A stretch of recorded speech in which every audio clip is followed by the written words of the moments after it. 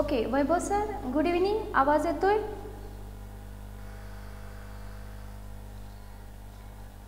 Good evening sir चलो clear आहे? Okay.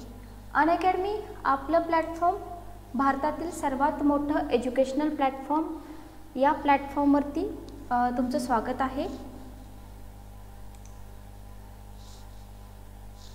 प्लॅटफॉर्मसोबत तुम्ही तुमची स्वप्न पूर्ण करा. येणारा जो काळ आहे एक्झामचा काळ आहे भले न्यूजमध्ये काहीही असेल की स्थगिती दिलेली आहे जागा भरल्या जाणार नाहीत वगैरे वगैरे तर ते काय टेंपररी नसतं काही चेंजेस होत पण असतात. आपला अभ्यास मात्र आपण चालू ठेवणं मस्ट असतं ठीक आहे? पोस्ट ऑफिसाच्या जागा निघालेल्या आहेत पुन्हा तलाटी भरती येईल सी डी पी ओची भरती येईल तर तुम्ही तुमची प्रिपरेशन अन अकॅडमीसोबत चालू ठेवा. अनअकॅडमीज का सिलेक्ट करायचं? या ठिकाणी तुम्हाला फाउंडेशन बॅचेस मिळतात. दोन हजार एकवीससाठी जर प्रिपरेशन करत असाल तर तुम्ही फाउंडेशन बॅचेस जॉईस करा जॉईन करा. इंटिग्रेटेड बॅचेस इथं आहेत. आत्ताची एक्झाम द्यायची असेल तर क्रॅश कोर्सेस तुम्हाला मिळून जातील. फास्ट ट्रॅक बॅचेस आहेत आणि बरंच काही प्लॅटफॉर्मवरती तुम्हाला मिळून जातं. ठीक आहे? तर स्पेशल क्लासेस तुम्हाला ॲपवरती मिळतात. बरोबर? स्पेशल क्लासेस मिळतात. पण स्पेशल क्लासेसमधून एक सिलॅबस जो आपण म्हणतो ना लोकसेवा आयोगाचा अभ्यासक्रम मात्र कंप्लीट होत नाही. त्याच्यासाठी तुम्हाला प्लसला ॲडमिशन घ्यावं लागतं. ठीक आहे? प्रीती मॅडम गुड इव्हिनिंग तर प्लसला तुम्हाला ॲडमिशन घ्यावं लागतं. प्लसवरती तुम्हाला महाराष्ट्रातले टॉप एज्युकेटर्स मिळतील. लाईव्ह इंटरॅक्शन होईल तुमचं एज्युकेटर लोकांसोबत. सर्व एक्झामसाठी सराव टेस्ट पेपर तिथं तुम्हाला मिळून जातील. आणि प्रत्येक आठवड्याला नवीन बॅचेस येत आहेत नवीन कोर्सेस येत आहेत. त्याच्यामुळं लेट झाला आहे आता मी जॉईन करू शकत नाही असं तुम्हाला प्रॉब्लेम येणार नाही. ठीक आहे? डाऊट क्लिअरिंग सेशन कंडक्ट केले जातात प्लस प्लॅटफॉर्मवरती जेवढे विद्यार्थी डाऊट विचारतील तेवढे डाऊट एज्युकेटरकडून क्लिअर केले जातात. ठीक आहे? आणि सराव सेक्शन सराव सेक्शनमध्ये तर तुम्हाला खूप काही तुमची तयारी करून घेतली जाते. तर प्लसचं प्रायझिंग प्लॅन बघून घ्यायच्या अगोदर महाराष्ट्रातले टॉप एज्युकेटर्स बघून घ्या. सचिन ढवळे सर पुण्यामधले नामांकित टीचर आहेत. अभिजित राठोड सर आहेत. किरण गायकवाड सर आहेत. आणि या टॉप एज्युकेटरसोबतच मी स्वतः पण आहे. मी तुम्हाला जनरल स्टडीजचे सगळे सब्जेक्ट शिकवते ठीक आहे? जनरल स्टडीज सर्व सब्जेक्ट मी शिकवते. Okay. Hello sir Vaibhav sir बोला. तर आता सध्या प्लसवरती माझा कोर्स चालू आहे. इकॉनॉमिक्सचा कोर्स चालू आहे. ठीक आहे? अर्थशास्त्र पार्ट वन येणारी कंबाईनची पूर्व आणि मुख्य परीक्षा क्लास थ्रीचे एक्झाम आणखी इतर ज्या काही एक्झाम असतील त्या सर्व एक्झामसाठी इकॉनॉमिक्स पार्ट वन प्लसला माझा कोर्स चालू आहे. दोन लेक्चर झालेले आहेत. ठीक आहे? नवीन विद्यार्थी ज्या विद्यार्थ्यांना प्लसला ॲडमिशन घ्यायचं आहे प्रायझिंग प्लॅन बघून घ्या. दहा टक्के डिस्काउंट तुम्हाला मिळेल.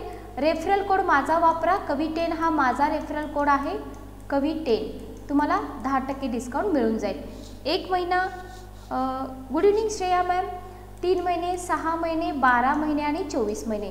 तर जर तुम्ही रा एम पी एस सीचाच अभ्यास करत असाल तर सहा महिने बारा महिने आणि चोवीस महिन्याचं ॲडमिशन घेणं मस्ट आहे. कारण का? लोकसेवा आयोगाची कोणतीही पोस्ट असू द्या एका वर्षाशिवाय अभ्यास होत नाही. एक वर्ष मस्ट आहे तुम्हाला एक्झामला देणं. तर इथं तुम्हाला ई एम आय मिळून जात आहे ई एम आय पण तुम्हाला फक्त क्रेडिटच्या ऐवजी डेबिट कार्ड पाहिजे. ठीक आहे? ओके ज्यांना प्लसला ॲडमिशन घ्यायचं आहे माझ्यासोबत कॉन्टॅक्ट करा लर्नर ॲप थ्रू ठीक आहे? जर तुम्ही लर्नर ॲप डाउनलोड केलं नसेल तर प्ले स्टोअरवरती जावा अनअकॅडमी लर्नर ॲप डाउनलोड करा. तिथं तुमचं अकाउंट बनवा. ईमेल आय डी व्हेरीफाय करून घ्या. आणि मग तुम्ही एज्युकेटर लोकांसोबत डायरेक्टली कॉन्टॅक्ट करू शकता. ठीक आहे? ओके चला. त्याच्यानंतर सर्वात महत्त्वाची गोष्ट बुक लिस्ट याच्या अगोदर पण मी तुम्हाला डेली मी तुम्हाला बुक लिस्ट देते. डेली देण्याचं रिझन असं आहे की काही लोक रोज नवीन नवीन जुडत आहेत तर त्यांना पण याचा फायदा व्हावा. तर टोटल सहा बुक्स मी तुम्हाला सांगितली होती. महाराष्ट्रातील समाजसुधारक स्क्रीनशॉट काढून घ्या. किंवा जर तुम्ही ॲपवरती असाल तर पी डी एफ डाउनलोड करून घ्या. या सहापैकी कोणतंही एक बुक घेतलं तरी चालेल. मॉडर्न इंडियन हिस्ट्री सर्व एक्झामला विचारलं जातं. इथं पण तुम्हाला सहा ऑप्शन आहेत. तुम्ही म्हणाल की मॅडम तुम्ही के सागरचेच बुक का देता? तर हा माझा स्वतःचा वैयक्तिक अनुभव आहे आणि मी स्वतः पी एस आय दोन हजार सतरा क्वालिफाय आहे. दोन हजार अठराची U P S C mains पण मी दिली आहे. राज्यसेवा मेन्स मी दोन वेळा दिलेली आहे. आणि मराठीमधील अत्यंत दर्जेदार बुक्स म्हटलं तर के सागरची पुस्तकं आहेत. ठीक आहे? बाकी प्राचीन भारत मध्ययुगीन भारत हे आणि भारताचं भूगोल. जर राज्यसेवा करत असाल तर घ्या. पण महाराष्ट्राचा भूगोल मात्र अगदी तुम्ही पोलीस भरती जरी करत असाल ना तरी पण तुम्हाला घ्यावं लागतं महाराष्ट्रातील जिल्हे आणि महाराष्ट्राचा भूगोल. बुकलिस्ट बघून घ्या. एक प्रॉपर मटेरियल चूज करणं खूप महत्त्वाचं असतं. आणि आज संध्याकाळी साडेसात वाजता माझं लेक्चर आहे मिस करू नका. पहिलं लेक्चर आहे पी एस आय लॉसाठी डिपार्टमेंटल लॉसाठी किंवा जे कोणी पोलीस भरती करतायत पुढं जाऊन तुम्हाला पी एस आय व्हायचं आहे तर त्यांच्यासाठी मी माहितीचा अधिकार कायदा कंप्लीट घेणार आहे. लोकसेवा हक्क अधिनियम पूर्ण घेणार आहे. त्याच्यानंतर I P C C R P C evidence act Mumbai police अधिनियम तर हे सगळे कायदे मी फ्रीच्या लेक्चरमध्ये घेणार आहे. ज्यांना गरज आहे तुमचे मित्रमैत्रिणी असतील सर्वांना सांगा. ठीक आहे? ओके. चला. आज पण आपण सायन्सचेच क्वेश्चन घेतो आहे एक दोन मिनिट थांबा.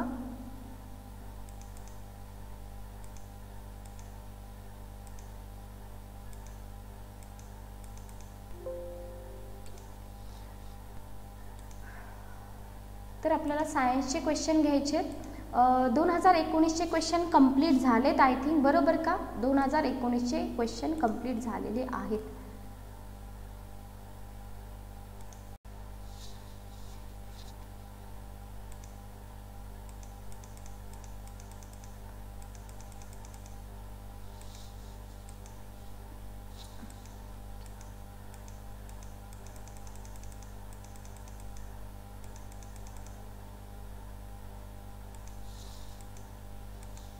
ओके जस्ट एक टू मिनिट थांबा.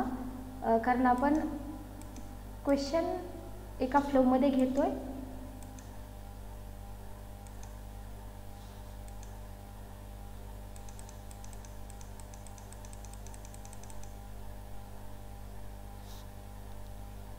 ओके न्यूरो ट्रान्समीटर क्वेश्चन झालेला आहे आपला. पेस्टिसाइड्स झालेला आहे बरोबर का? ओके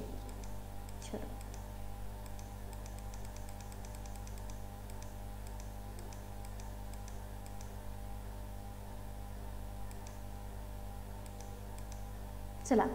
हा क्वेश्चन चालू होता. ह्युमन आ ह्युमन आयशी रिलेटेड बरोबर? मानवी डोळा. तर क्वेश्चन पाहिलेला आहे आपण. क्वेश्चन काय होता? सिंपल क्वेश्चन तुम्हाला विचारला होता की सर्वसाधारण निरोगी मानवी डोळ्याचा सर्वसाधारण निरोगी मानवी डोळ्याचा स्पष्ट दृष्टीचा म्हणजे डी डी व्ही किती असतो? ठीक आहे. तर पंचवीस सेंटीमीटर हे आपण बघितलेलं आहे. नॉर्मली मी तुम्हाला सांगितलं पण होतं की एखादं बुक जर असेल तर आपण किती अंतरावरती धरल्यानंतर आपल्याला प्रॉपर ते वाचता येतं. खूप जवळ धरलं तर वाचता येणार नाही खूप लांब धरलं तरी पण वाचता येणार नाही. पंचवीस सेंटीमीटर पाहिजे. तर यालाच काय म्हणतात? शेवटचा टप्पा देखील म्हणतात. तुम्हाला मी ह्युमन आय ॲनाटॉमीची इमेज दाखवली होती. ॲनाटॉमी मी तुम्हाला डिटेलमध्ये नाही सांगितली. फक्त मी तुम्हाला इमेज दाखवलेली आहे. ठीक आहे? त्याच्यानंतर इथं सांगितलं होतं की यालाच डोळ्याचा जवळचा बिंदू देखील म्हणतात बरोबर? किंवा डोळ्याचा शेवटचा बिंदूसुद्धा म्हणतात. तर अल्टरनेट नावं लक्षात ठेवा आयोगाची सवय आहे अल्टरनेट नावं विचारायची. आणि तोच पार्ट मी तुम्हाला इथे इंग्लिशमध्ये पण जे दिला आहे जी लोक मराठीमध्ये कम्फर्टेबल नाही आहेत तुम्ही इंग्लिशमध्ये स्क्रीनशॉट काढून घेऊ शकता ओके आता इथं बघा पाठीमागच्या एका एक्झाममध्ये तुम्हाला मानवी डोळ्याशी रिलेटेड जे काही रोग होतात किंवा डिसऑर्डर होतात त्याच्या संबंधी क्वेश्चन आलेले आहेत. त्याच्यामध्ये मोतीबिंदू आहे काचबिंदू आहे बरोबर का? पण आयोग आपल्याला मराठीमध्ये न देता इंग्लिशमध्ये देतं. म्हणजे काय? मायोपिया किंवा नियर साईटनेस मायोपिया किंवा नियर साईटनेस. तर तुम्हाला माहीत पाहिजे की मायोपिया काय आहे? आणि प्लस पुढं जाऊन आयोग तुम्हाला आणखी एक क्वेश्चन विचारतं की मायोपिया हा जो काही दृष्टीदोष आहे हा दृष्टीदोष दूर करण्यासाठी तुम्हाला कोणत्या भिंगाचा चष्मा वापरावा लागेल? बरोबर का?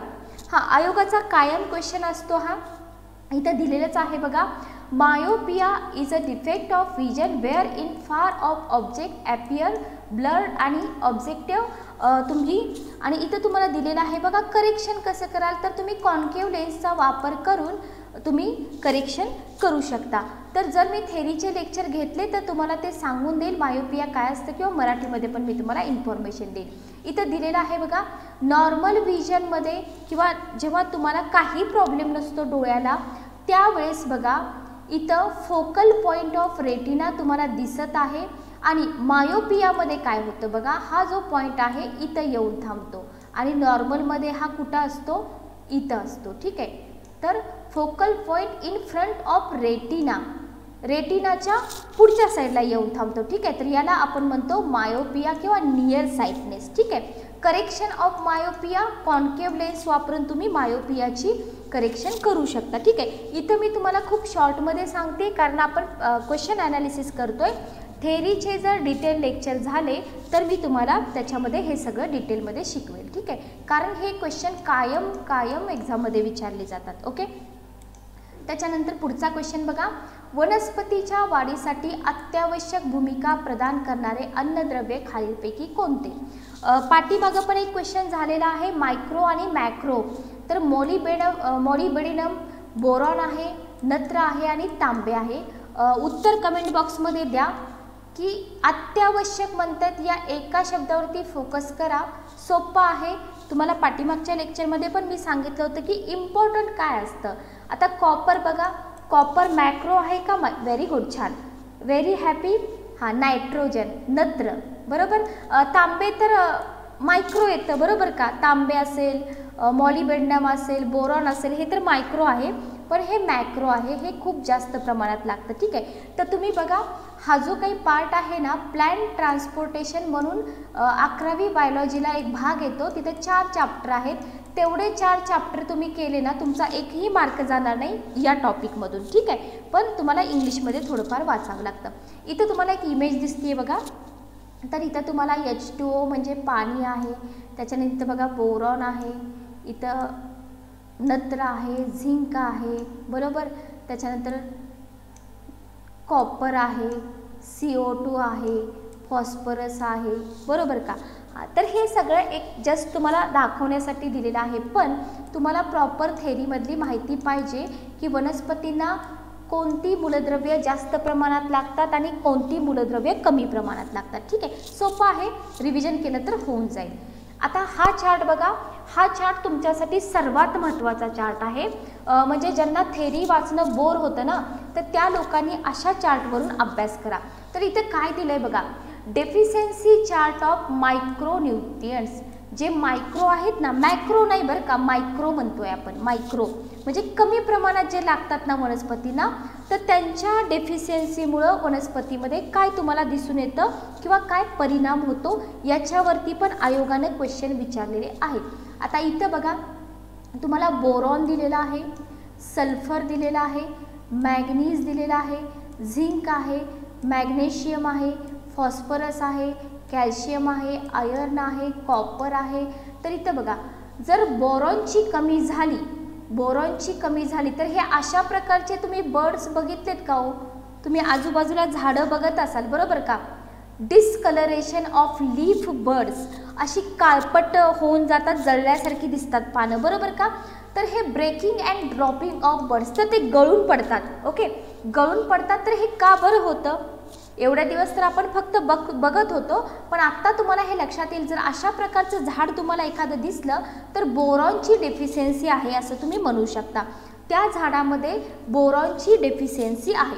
त्याच्यानंतर बघा पूर्ण एखादं झाड ग्रीन कलरचं आहे आणि त्याच्यामध्ये एखादंच पान तुम्हाला असं येलो कलरचं दिसतंय ठीक आहे? एखादंच पान तुम्हाला येलो कलरचं दिसतंय तर लाइट ग्रीन किंवा येलो म्हणा आणि स्पॉट नाही आहेत बरं का. पण येलो किंवा पेल ग्रीन दिसतंय त्याच्यातल्या शिरा पेल ग्रीन दिसत आहेत तर हे सल्फरच्या कमीमुळं होतं. जर त्या झाडामध्ये सल्फरची कमी असेल तर अशा प्रकारचं दिसून येतं. त्याच्यानंतर मॅंगनीज बघा. जर मॅंगनीजची कमी असेल तर अशा प्रकारचं दिसतं बघा. ठीक आहे? एक तर तुम्हाला हे जे पान आहे पिवळसर दिसेल पेल पेल कलरचं दिसेल. आणि ज्याच्यातल्या शिरा आहेत ना त्या शिरा डार्क ग्रीन किंवा रेटिक्युलेटेड दिसतील ठीक आहे? तर याला तुम्ही म्हणू शकता मॅंगनीजची कमी आहे या झाडामध्ये. जर झिंकची कमी असेल त्या झाडामध्ये झिंक प्रॉपर मिळत नसेल तर ही अशी काळपट दिसतात थोडीशी. एका बाजूला असे काळे डाग दिसतात मध्ये थोडासा ग्रीन कलर दिसतो डार्क स्पॉट दिसतात. हां very happy very good very good. चोवीस आहेत बरोबर आहे. त्यात पण आपण वर्गीकरण करतो मॅक्रो आणि मायक्रो बरोबर? व्हेरी गुड चला. तर हे विचारतात बरं का प्रॉपर तुम्हाला करावं लागतं खूप डेप्थमध्ये करावं लागतं. मी तुम्हाला थोडंफार सांगून देते. जर आयर्नची कमी असेल अशी पानं आपण बघितलेली पण असतील किंवा एक तुम्हाला चांगला अनुभव सांगते. तुम्ही जर स्कूल टाईममध्ये असाल ना तर स्कूल टाईममध्ये अशी पानं वगैरे गोळा कर करतात ना विद्यार्थी बरोबर का? छोटी छोटी मुलं बघा अशी येलो कलरची पानं गोळा करतात. तर हे जे काही दिसतंय ना अशा प्रकारचं पान तर आयर्नची डेफिशियन्सी झाली तर अशा प्रकारचं पान तुम्हाला वनस्पतीमध्ये दिसून येतं. अशा प्रकारचं पान पण खूप वनस्पतीमध्ये दिसतं बघा. पोटॅशियम जर पोटॅशियमची कमी झाली स्पॉट टन रस्टी होतात. म्हणजे असं गंज चढल्यासारखी जो कलर असतो ना ब्राऊन कलर दिसतो तर पोटॅशियम कमी असल्यानंतर म्हणतात. पण नायट्रोजनची जर कमी झाली तर स्टंटेड ग्रोथ ग्रोथच होत नाही त्या झाडाची ठीक आहे? एक्स्ट्रीमली पेल कलर होतो. त्याच्यानंतर upright leaves with light green किंवा येलोविश आणि एक्स्ट्रीमली डेफिशियन्सी जर याची झाली तर ग्रोथच होत नाही एवढं फक्त लक्षात ठेवा. बाकीचं तुम्ही वाचून घ्या. पोटॅशियम इथं डबल दिलेलं आहे. फॉस्फरस बघा. ब्रॉन्झ कलर येतो. असा बघा ब्रॉन्झ कलर येतो फॉस्फरसच्या कमतरतेमुळे. कॅल्शियमची जर कमतरता असेल प्लॅन्ट डार्क ग्रीन कलरचं दिसतं. ड्राय होतं कोणत्या साईडला टिपच्या साईडला ठीक आहे? तर हे डिटेलमध्ये करावं लागतं. एकदा दोनदा केलं तर लक्षात राहून जातं. ठीक आहे? ओके चला. त्याच्यानंतर तो जर तुम्हाला चार्ट नको असेल तर हा बघितला तरी चालेल. इथे तुम्हाला दिलेला आहे बघा. नवीन आणि जुनी पानं. इथं तुम्हाला प्रॉपर अशा प्रकारचं कॅल्शियम फेरस कॉफर असं दिलेलं आहे. निकेल आहे. इथं सगळं दिलेलं आहे. हे वाचून घ्या. ठीक आहे. वाचून घ्या. कोणताही चार्ट जो तुम्हाला आवडेल त्याच्यामधून इन्फॉर्मेशन घ्या. पण याच्यावरती क्वेश्चन येतात हे मात्र नक्की. चला पुढचा क्वेश्चन घ्या. वीज बिलातील एका युनिटचे ऊर्जा मूल्य किती असतं? किलो वॅटमध्ये तुम्हाला विचारलंय.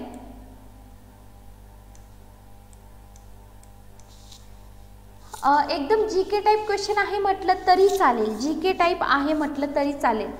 कमेंट बॉक्समध्ये उत्तरं द्या. कमेंट बॉक्समध्ये उत्तरं द्या ठीक आहे? ओके व्हेरी हॅपी चला आणखी बाकीचे लोक उत्तर देत नाही आहेत तर न्यूमेरिकल्स शक्यतो तर न्यूमेरिकल स्किप करण्याकडे विद्यार्थ्यांचा कल असतो ठीक आहे? की स्किप करायचे बाबा नको सोडवायला. तर होतं असं कधी कधी ओके प्रतीक्षा मॅडम ठीक आहे. थर्टी थ्री म्हणताय बरं. बाकीचे विद्यार्थी तर इथं बघा एक तर तुम्हाला अगोदर माहीत पाहिजे की वीज युनिट म्हणजे काय असतं. ठीक आहे? एकदम बेसिकपासून म्हणतो आपण वीज युनिट म्हणजे काय? विजेचे मूलभूत युनिट म्हणजे किलोवॅट तास. ठीक आहे? सोप्या भाषेत सोप्या भाषेत काय सांगतात? एक किलोवॅट तास म्हणजे एक किलोवॅट म्हणजे एक हजार वॅट बरोबर का? हां. तर एक तुमच्या घरी हीटर वगैरे असेल ना तर हीटरचं तुम्ही एक्झाम्पल घेऊ शकता. एका तासासाठी जर वापरलं ठीक आहे एका तासासाठी जर वापरलं किंवा आजकाल बघा मीटरमधलं पण रीडिंग वगैरे लोकांना वाचायला येतं एवढं काही अवघड नसतं. पण असे क्वेश्चन येत नसतील लक्षात घ्या. न्युमेरिकल्स येत नसतील तर स्किप करत चला. स्किप करत चला. पण हा काही हे काही न्यूमेरिकल्स नव्हतंच. हे न्युमेरिकल्स नव्हतंच हे तुम्हाला प्रॉपर माहीतच पाहिजे ठीक आहे? ओके पुढचा क्वेश्चन घ्या.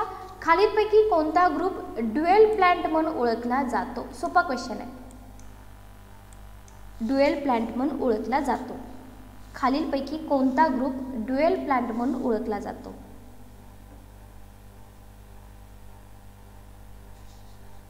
शैवाळ आहे लायकेन्स आहेत अँजिओस्पर्म आहे आणि कवक आहे. तर क्वेश्चन जो काही विचारला आहे okay very good very happy lichens तर लायकेन्सवरती आयोगाने दोन हजार अठराला राज्यसेवा पूर्वपरीक्षा दोन हजार अठराला फोर लाईनर क्वेश्चन विचारला होता. त्याच्या अगोदर पण राज्यसेवेलाच लायकेन्सवरती क्वेश्चन विचारलेले आहेत. लक्षात ठेवा ठीक आहे? तर लायकेन्सची माहिती तुम्हाला कुठं मिळते? हां क हां सिम सिम्बायोटिक म्हणतात बरोबर का? सहजीवी कवक आणि शेवाळ बरोबर दगडफूल. व्हेरी गुड तर मिनिंग ऑफ लायकेन्स तर लायकेन्सबद्दल तुम्हाला अकरावीच्या बायोलॉजीमध्ये माहिती मिळते. पण थोडीशी मिळते. त्याच्यापेक्षा तुम्ही विकिपीडियावर बघा चांगली माहिती मिळून जाते. आणि सगळी माहिती घ्या.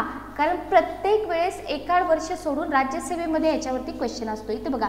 Lichens constitute a small group of thallophytic आणि ऑटोट्रॉपिक प्लॅन्ट्स आहेत. तर या शब्दांवरती फक्त आपल्याला फोकस करायचा आहे जेणेकरून पुढं जाऊन ह्याच्यावरतीच आयोग क्वेश्चन टाकू नये ठीक आहे? They form a unique combination of two completely different individuals of which one belongs to algae आणि अदर फंजाय म्हणा किंवा फंगी म्हणा. ठीक आहे? एक अल्गी आणि एक ओके फंजाय ठीक आहे? तर हे कायम विचारलेलं आहे. सोपे सोपे पॉईंट्स आहेत. त्याच्यानंतर बघा the algal component is called ठीक आहे. त्याच्यानंतर द फंगल कॉम्पोनंट मायोको हाँ सांगते. एक मिनिट थांबा, सांगते. ओके ठीक आहे. त्याच्यानंतर बघा the two component remain in close contact and appear to be a single plant therefore lichens are also known as composite or dual organism okay तर आपल्याला जो क्वेश्चन विचारलेला आहे तो आहे डुएल प्लॅन्ट किंवा डुएल ऑर्गॅनिझमवरती बरोबर? तर नोट करून घ्या की लायकेन्स हा जो भाग आहे ना तर हा स्टेट प्रीला जास्त विचारला जातो. स्टेट प्रिलियमला जास्त विचारला जातो. ठीक आहे? त्याच्यानंतर बघा अशा प्रकारची एक तुम्हाला इमेज दिसत आहे. अशा प्रकारची एक तुम्हाला इमेज दिसत आहे. बरं तुम्हाला एक क्वेश्चन विचारते. लायकेनचा उपयोग लायकेनचा उपयोग पॉल्युशन इंडिकेटर म्हणून केला जातो का? लायकेनचा उपयोग पॉल्युशन इंडिकेटर म्हणून केला जातो का? जर केला जात असेल तर लायकेनचे टाईप पण तुम्हाला माहीत पाहिजे. बरोबर? लायकेन्सचे टाईप पण तुम्हाला पा माहीत पाहिजे. आणि लायकेन्सचे टाईप पडतात कलरवरून ठीक आहे?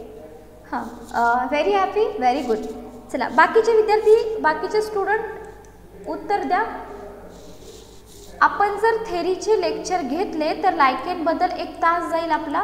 पण इलेवन स्टँडर्डच्या बायोलॉजीच्या बुकमधून तुम्ही लायकेन्स हा जो काही घटक येतो तो कंप्लीट करू शकता. ठीक आहे? चलो पुढचा क्वेश्चन बघूया आपण. चला इथं तुम्हाला मी एक्झाम्पल्स दिलेले आहेत. Example of pollution indicators pollution indicators बघा.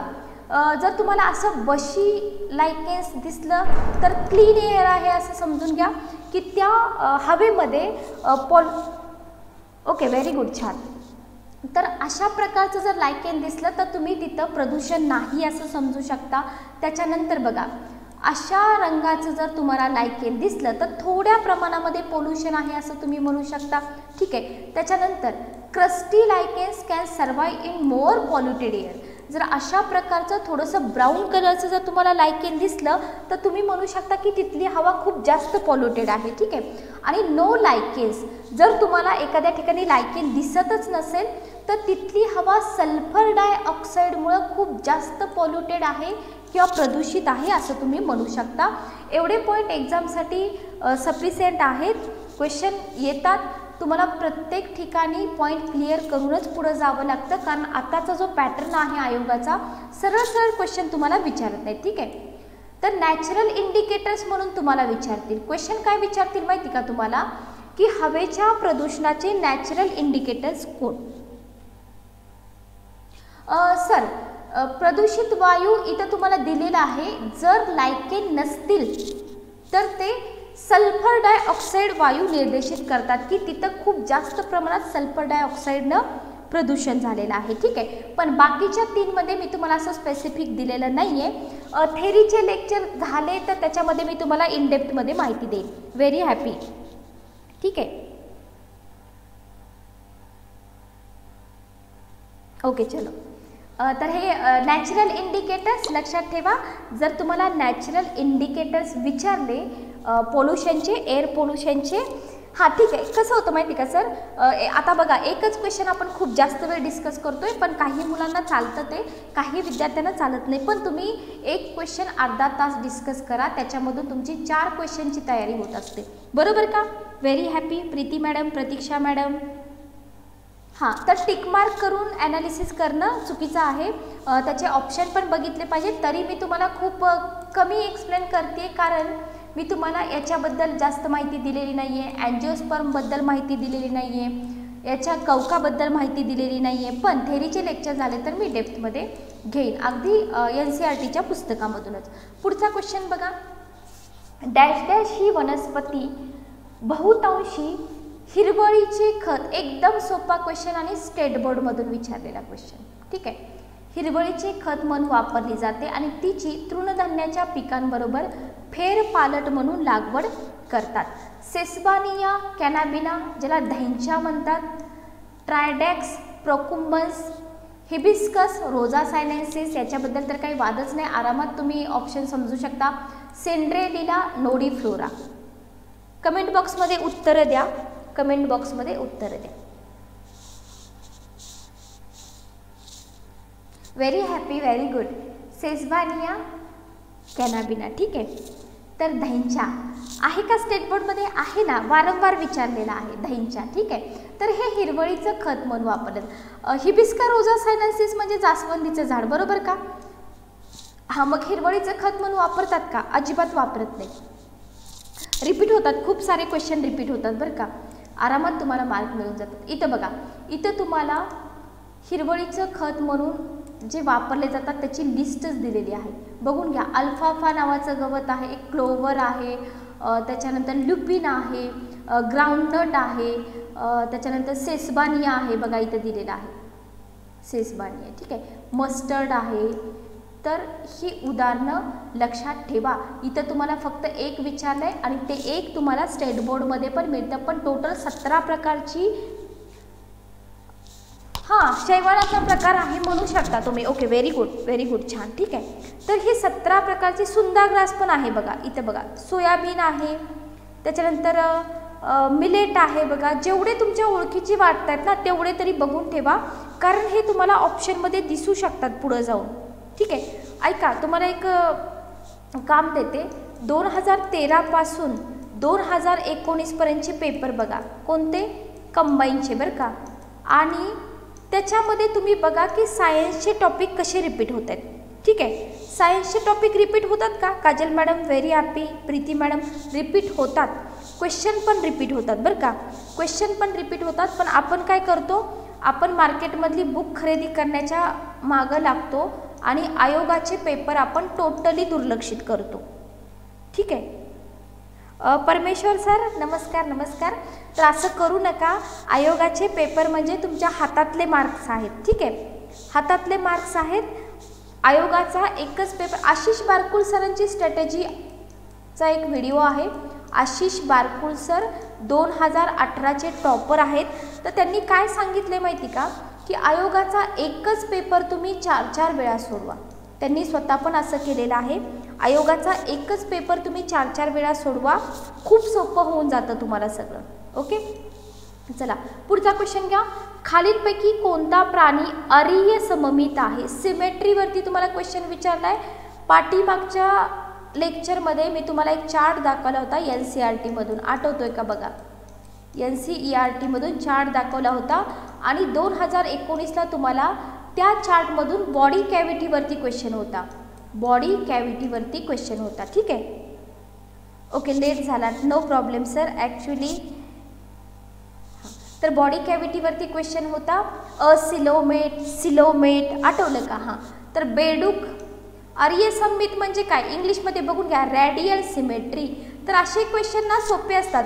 रॅडियल सिमेट्रीची एक चार पाच नावं पाठच करून ठेवायची.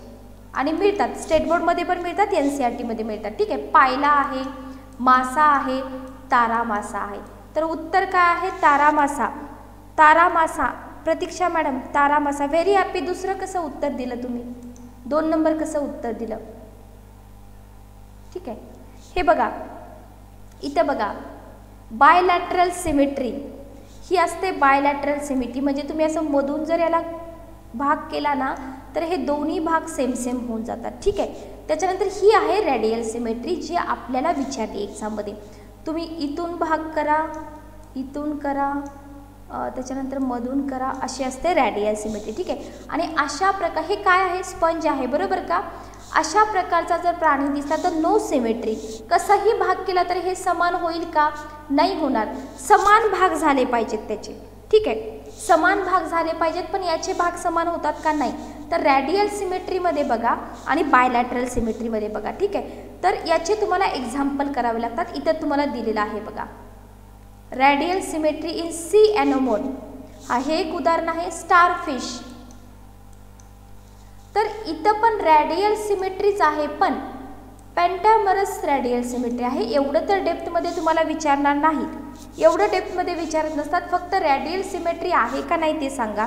तर सी एनमॉन पुढं जर हे तुम्हाला ऑप्शनमध्ये दिसलं तर लक्षात ठेवा आत्ता तुम्हाला स्टारफिश ऑप्शनमध्ये दिसतच आहे. ठीक आहे? तर हे सगळं क्लासिफिकेशनमध्ये येतं. क्लासिफिकेशनवरती सर्वात जास्त क्वेश्चन कंबाईनलाच असतात. पुढचा क्वेश्चन घ्या. सेलेमेंडर या प्राण्याचे वर्गीकरण कोणत्या वर्गात करतात?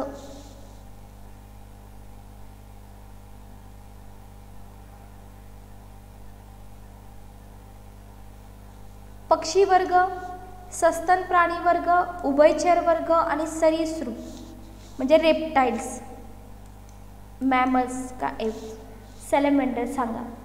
एम्पी हां उभयचर ओके व्हेरी गुड आणखी एक क्वेश्चन तुम्हाला विचारला होता. तुम्हाला लिंक विचारतात बघा. पक्षी वर्ग हां आणि रेप्टाईल्सच्या मधली लिंक तुम्हाला विचारली होती का? आठवतंय का? पक्षी वर्ग आणि रेप्टाईल्स यांच्यामधली एक लिंक तुम्हाला विचारली होती. आणि तो क्वेश्चन फक्त एन सी आर टीमधूनच कवर होत होता. बरोबर? हां तर काही क्वेश्चन आयोगानं अवघड पण विचारलेले आहेत बरं का. आता हे सगळं आपल्याला कुठं अभ्यासावं लागतं? ॲनिमल किंगडममध्ये ॲनिमल किंगडम तोंडपाठ असेल तर सायन्सचे खूप चांगले मार्क मिळतात कंबाईनला ठीक आहे? याच्यामध्ये आपल्याला बघा इनवर्टिब्रेट्स वर्टिब्रेट्स इनवर्टिब्रेट्समध्ये सेल्युलर लेवल टिश्यू लेवल आणि ऑर्गन आणि ऑर्गन सिस्टम लेवल हा शेपूट असणारा एकमेव उभयचर पाणी ठीक आहे? तर बघा तुम्हाला मी लेवल कधी शिकवल्या होत्या? ज्यावेळेस आपण ह्युमन फिजिओलॉजी स्टार्ट केली होती. बरोबर का? सेल्युलर लेवल फायलम पोरीफेरा अभ्यासावा लागतो आपल्याला. टिश्यू लेवल बघा निडारिया आहे. आणि ऑर्गन आणि ऑर्गन सिस्टम लेवलमध्ये तुम्हाला ॲनिलिडा अर्थोफोडा मोलुस्का आणि इकिनोडर्मायटा ठीक आहे? तर बॉडी कॅव्हिटी प्रेझेंट असलेले बॉडी कॅव्हिटी प्रेझेंट असलेले आणि बॉडी कॅव्हिटी प्रेझेंट नसलेले असिलोमेट आणि सिलोमेट आठवलं का? आठवलं? दोन हजार एकोणीसचा क्वेश्चन बघा.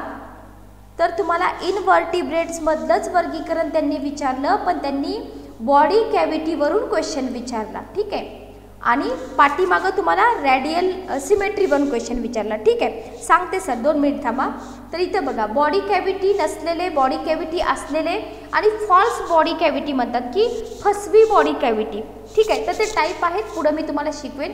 याच्यामध्ये बघा प्लॅन्टी हेल्मिंथस याच्यावरतीच आपल्याला क्वेश्चन पडला होता. फ्लॅटवर्म आहे बरोबर का? फ्लॅटवर्म आहे मग असिलोमेट आहे का सिलोमेट आहे? हे सगळं आपल्याला विचारलं होतं ठीक आहे? निमॅटोडा फायलम निमॅटोडा आणि फायलम प्लॅन्टी हेल्मिंतस कशामध्ये येतं? असिलोमेट. असिलोमेट ज्याच्यामध्ये उदरगुहा पोकळी म्हणा किंवा नो बॉडी कॅव्हिटी आणि बॉडी कॅव्हिटी असणारे ॲनिलिडा अर्थोफोडा मोलुस्का आणि इकिनोडर्मायटा. ठीक? आहे आता वर्टिब्रेट्सकडे या. याच्यामध्ये बघा हे सगळं क्लास पायसेस आहे class Amphibia class Reptilia Aves आणि मॅमलिया आणि याच्यामध्ये तुम्हाला कार्टेलिजिनियस फिश आणि बोनी फिश याच्यावरती पण क्वेश्चन आलेला आहे. याच्यावरती पण क्वेश्चन आलेला आहे. तर व्हेरी हॅपी तुम्ही एक काम करा. माझं माझं नाव तुम्हाला माहिती आहे कविता देशमुख माझं नाव आहे. आणि अकॅडमीचं लर्निंग ॲप डाउनलोड करा. तिथं तुम्ही माझे लेक्चर आहेत. फ्री लेक्चर फ्रीमध्ये जावा. तिथं तुम्हाला अकरावी बायोलॉजी मराठीमधून कोर्स मिळेल माझा एक. मराठीमधून कोर्स मिळेल. तिथं मी हे सगळं सांगितलेलं आहे की काही जे काही काय म्हणतात त्याला अपवाद आहेत की ती प्राणी वर्गामध्ये इन्क्लूड केले का वनस्पती वर्गामध्ये इन्क्लूड केले तर ते मी तिथं सगळं डिटेलमध्ये शिकवलं आहे सर टॅक्झॉनॉमी काय असतं नावं कशी दिली जातात ठीक आहे? व्हेरी हॅपी जर तुम्हाला डेप्थ इन डिटेल लेक्चर बघायचे असतील माझे तर फ्री कोर्सेसमध्ये मी तो भाग कंप्लीट केलेला आहे. ठीक आहे. पण फक्त तुम्हाला काय करावं लागेल? अन अकॅडमीच्या लर्निंग ॲपवरतीच ते लेक्चर बघायला मिळतील. तिथं मी क्लिअर केलेलं आहे युगलिना प्राणी आहे का वनस्पती आहे? मग तिथं जे काही सायंटिस्ट येतात तर त्यांनी काही वनस्पतींना किंवा काही प्राण्यांना कोणत्या गटामध्ये टाकलं का टाकलं हे सगळं एक्सप्लेन केलेलं आहे. लर्निंग ॲपवरती तुम्ही ते माझे लेक्चर बघू शकता बायोलॉजीचे ठीक आहे?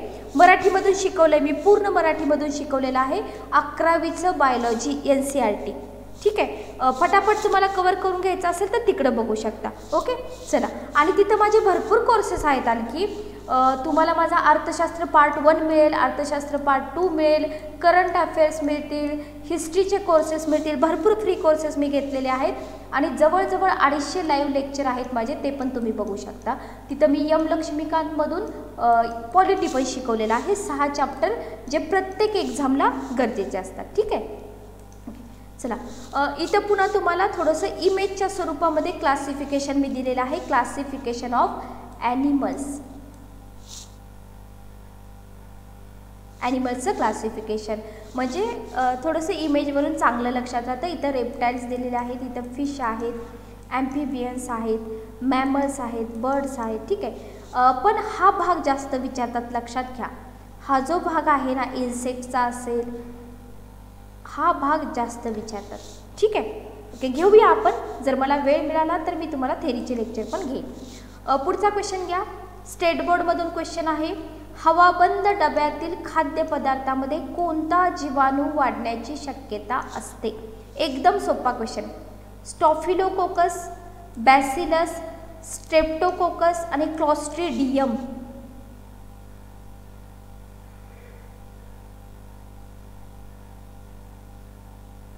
हां ज्या लोकांनी स्टेट बोर्ड वाचले पटापट उत्तर द्या कमेंट बॉक्समध्ये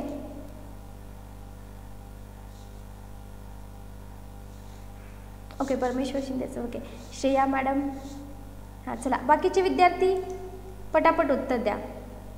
क्लॉस्ट्रिडियम क्लॉस्ट्रिडियम हां very happy very good clostridium ठीक आहे. तर हवाबंद डब्यातील खाद्यपदार्थामध्ये हा क्लॉस्ट्रिडियम वाढण्याची शक्यता असते. मग या क्लॉस्ट्रिडियममुळं काय होतं हो? क्लॉस्ट्रिडियममुळं काय होतं बघा. तर काही डिसीज होतात. प्रीती मॅडम तुमची उत्तर चेक करा. डिसीज होतात क्लॉस्ट्रिडियममुळं किंवा क्लॉस्ट्रिडियामुळं तर बोटुलिझम नावाचा एक रोग आहे. त्याच्यानंतर आणखी काय होतं? टिटॅनस नावाचा रोग आहे. सॉफ्ट टिश्यू इन्फेक्शन होऊ शकतं. ठीक आहे? त्याच्यानंतर बघा क्लॉस्ट्रिडियल नेक्रोटायझिंग आता हे जे तुम्हाला अवघड वाच वाटत असतील पण आता तुम्हाला इथं काय विचारलं आहे बघा? तुम्हाला जर जीवाणूचं नाव विचारू शकतात तर पुढं जाऊन या जीवाणूमुळं फूड पॉयझनिंग वगैरे होतं का ते पण विचारू शकतात. बरोबर का? Very happy Parameshwar sir Shreya madam. हां आयोगाचा तो पॅटर्नच आहे. एक एक काय म्हणतात त्याला एक फ्लो असतो बघा. तेराला एक क्वेश्चन त्या टॉपिकमधून थोडंसं पुढं विचारतील थोडंसं पुढं विचारतील. आपला अभ्यासक्रम कसा असतो की नाही पाचवीचं पुस्तक काढा. तेच तेच धडे असतात पण थोडीशी कमी माहिती असते. तोच धडा पुन्हा सहावीला पण असतात पण थोडीशी लेवल वाढवलेली असते.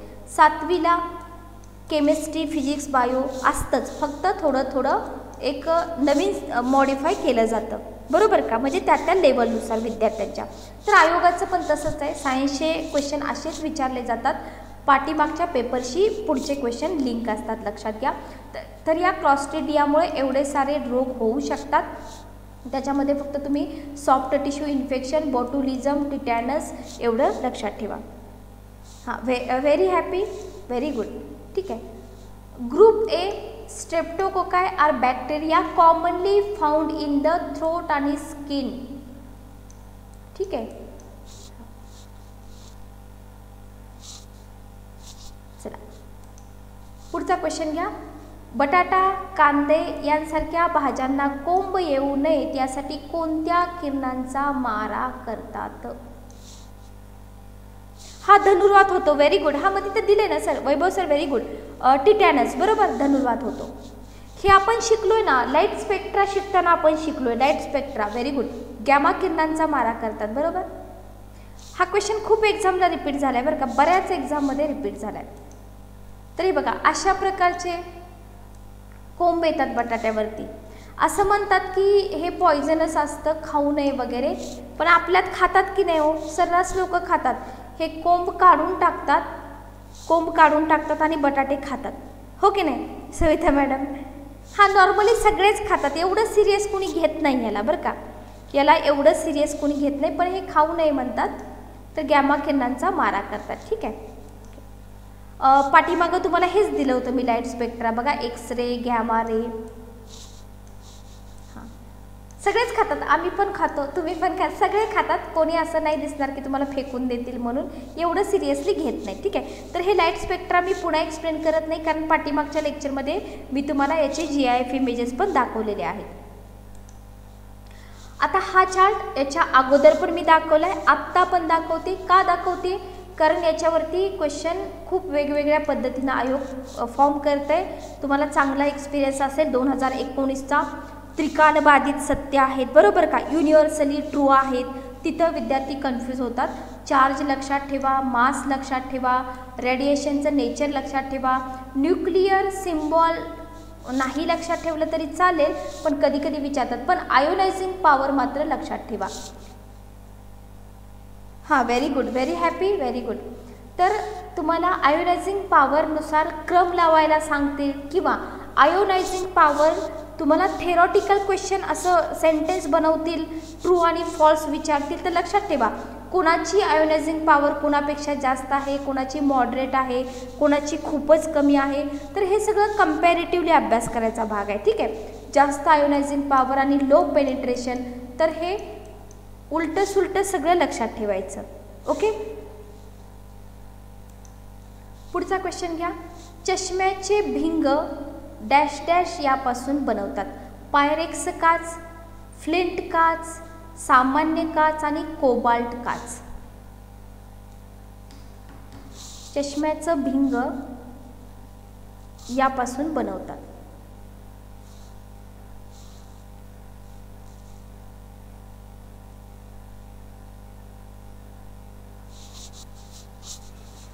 कमेंट बॉक्समध्ये उत्तर द्या. आपण जो चष्मा वापरतात त्याचं जे काही भिंग असतं ना व्हेरी हॅपी ओके फ्लिंट काच. आणखी बाकीचे विद्यार्थी? बाकीचे विद्यार्थी. ठीक आहे.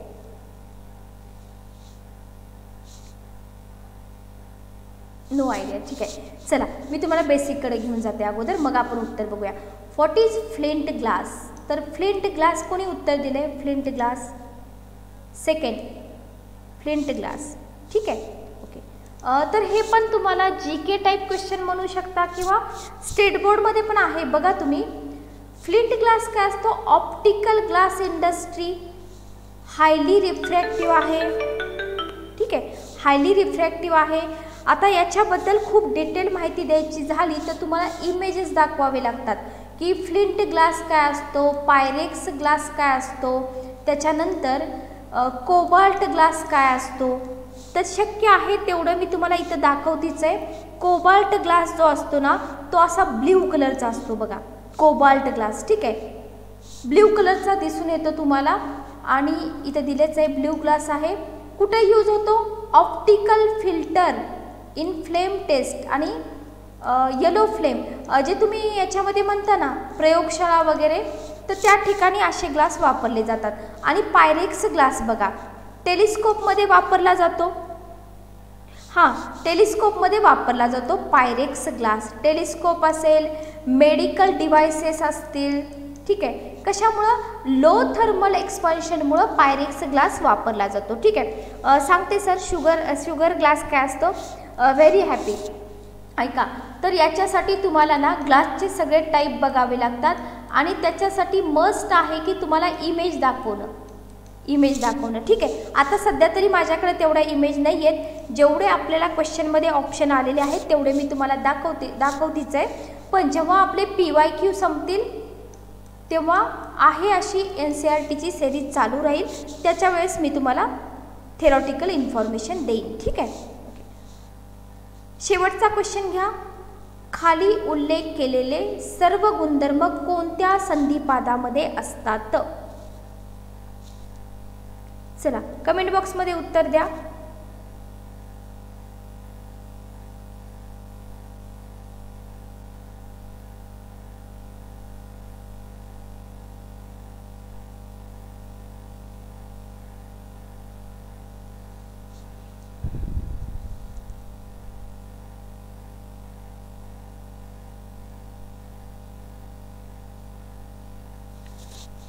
कमेंट बॉक्समध्ये उत्तर द्या.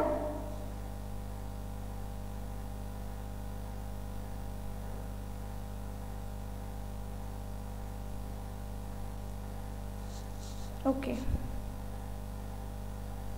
पहिला ऑप्शन ठीक आहे. स्पर्शिकांच्या दोन जोड्या. ओके. हां. संयुक्त नेत्र श्वसनासाठी कल्ले मौखिक उपांगांच्या तीन किंवा अधिक जोड्या. ठीक आहे. खेकडा. हा खेकडा खेकडा. क्रॅब ठीक आहे. तर हे मराठी अवघड जातं का हो? अवघड जातं ना मराठी? त्यापेक्षा खाली वाचायचं. कंपाऊंड आहे. तीन किंवा जास्त पेअर असतील. Gills of gills for respiration आहे. तर इथं कन्फ्यूज कुठं झाले माहिती का विद्यार्थी? विंचू आणि खेकड्यामध्ये. बरोबर ना? विंचू आणि खेकडा.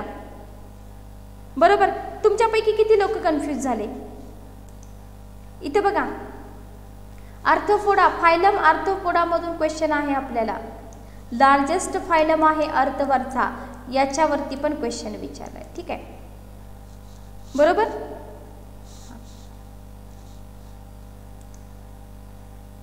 इथं तुम्हाला दिसत आहे बघा. ओके?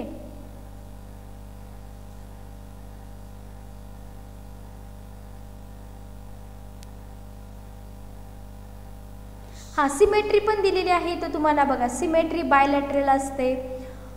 बॉडी कॅव्हिटी दिलेली आहे बघा.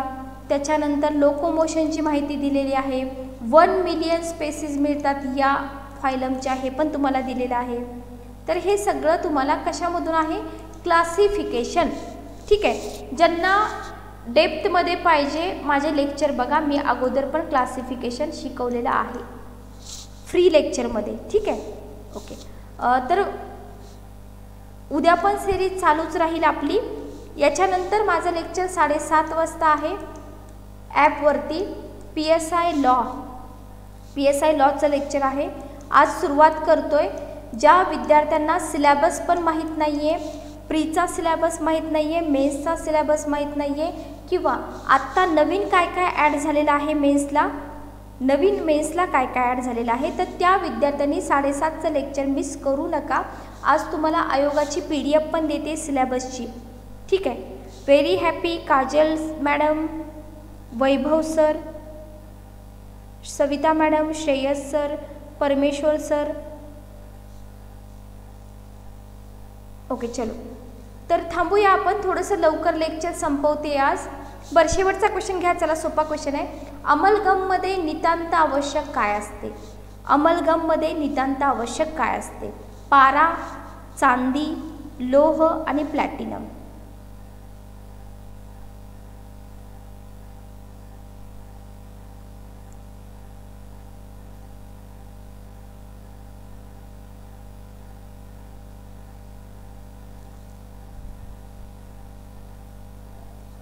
ओके व्हेरी हॅपी पारा व्हेरी गुड ठीक आहे. हां. तर हे पण स्टेट बोर्डमध्ये आहे बरोबर? हे पण स्टेट बोर्डमध्ये आहे. ओके ठीक आहे. बरं. आता आजच्या क्वेश्चन आजच्या लेक्चरमधून तुम्हाला फक्त का ग्लासचे टाईप शुगर ग्लास हां sugar glass sir sugar dissolve केली जाते पाण्यामध्ये बरोबर? आणि त्याच्यापासून म्हणजे मी तुम्हाला पूर्ण प्रोसिजर सांगत नाही. पण शुगर डिझॉल्व करून पाण्यामध्ये त्याच्यापासून जी ग्लास बनते त्याला शुगर ग्लास म्हणतात. बरोबर का? हां आत्तापर्यंत एक्झाममध्ये विचारलं नाही पण विचारू शकतात. हा पारा विषारी असतो ना सर? पारा विषारी असतो. इथं तुम्हाला हा अमलगम धातू दिसत आहे बघा. अमलगम म्हणजे काय? दुसऱ्या धातूसह पाऱ्याचा मिश्र धातू किंवा एक धातू पण त्याच्यामध्ये पारा पाहिजेच. त्याच्यामध्ये पारा पाहिजेच. ठीक आहे? आता हे पाऱ्याच्या प्रमाणानुसार असतं बघा की एक धातू घेतला आहे एक्स एक्स नावाचा धातू घेतला आहे प्लस त्याच्यामध्ये आपण पारा घेतला आहे तर तुम्ही पाऱ्याचं प्रमाण किती घेता? पाऱ्याचं प्रमाण किती घेता? त्याच्यानुसार तो मिश्र धातू द्रव आहे का मऊ पेस्ट आहे का घन आहे का हे डिपेंड करतं. ठीक आहे? त्याच्यानंतर बघा इथं तुम्हाला दिलेलं आहे जवळजवळ सर्व धातू पाऱ्यासोबत एकत्रित होऊ शकतात. ऐका जवळजवळ सगळे धातू पाऱ्यासोबत एकत्रित होतात पण लोखंड प्लॅटिनम टंगस्टन आणि हे चुकलेलं आहे हे मात्र अपवाद आहेत लक्षात घ्या. आणि अपवादच एक्झाममध्ये विचारतात बघा इथं तुम्हाला प्लॅटिनम आहे का? उत्तरामध्ये आहे. तर आयोग असंच करतं की लोखंड प्लॅटिनम टंगस्टन हे अपवाद आहेत यांच्यासोबत पारा एकत्रित होऊ शकत नाही. दंतचिकित्सामध्ये चांदी आणि पारा एकत्रित करणं महत्त्वाचं आहे. इथं तुम्हाला चांदी ऑप्शनमध्ये आहे. लोह प्लॅटिनम आहे. म्हणजे काय? दोन ऑप्शन निगेटिव्ह असतात दोन ऑप्शन पॉझिटिव्ह असतात. क्वेश्चन कसे फॉर्म केले जातात थोडंसं बघत चला. ओके? दंतचिकित्साने पाराच्या मिश्रधातूंचा वापर चांदी तांबे इंडियम कथिल जस्त यांच्यासोबत केला जातो. ठीक आहे? आणखी बरीचशी माहिती मिळते तुम्हाला? बरीचशी माहिती मिळते विकिपीडियावरती ठीक आहे? पण एवढी सफिशियंट आहे एक्झामसाठी ओके? चला थांबूया आपण इथं. साडेसातचं लेक्चर नक्की बघा ॲपवरचं आणि जर लेक्चर आवडलं असेल तर लाईक करा. हां लाईक करा आणि शेअर पण करा. ठीक आहे? हां विद्यार्थ्यांनी लेक्चर लाईक केले तर आणखी जास्त मूड येतो टीचिंगला आणखी जास्त मूड येतो ठीक आहे? हा थोडंसं लेक्चर लवकर संपवते. Good night